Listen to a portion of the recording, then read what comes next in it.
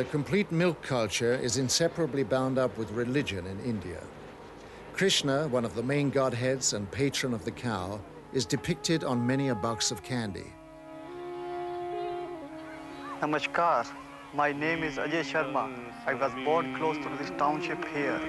Its name is Vrindavan, a rather small place located between our capital New Delhi in the north and the famous city of Agra in the south. But Vrindavan is very famous throughout all of India. To many of us, it sounds like music in the ears. And it reminds me of a kind of a small paradise full of milk, butter, honey and fruits.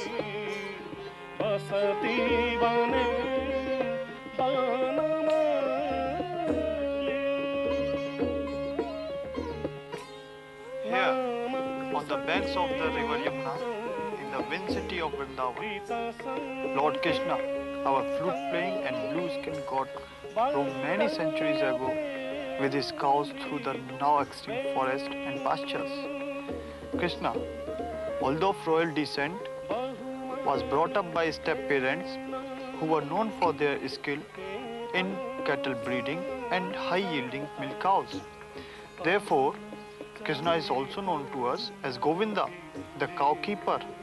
In his childhood, he spent every day with his cows of his step-parents and naturally was very much attached to all the products of milk. Later in his life, when he was grown up, he took to his flute and played so wonderfully and magically that all the beautiful young cowherdesses or gopis, as we call them, fell deeply in love with him. But Krishna also had an attachment to one single gopi named Radha. So Radha and Krishna became known to us as the perfect lovers.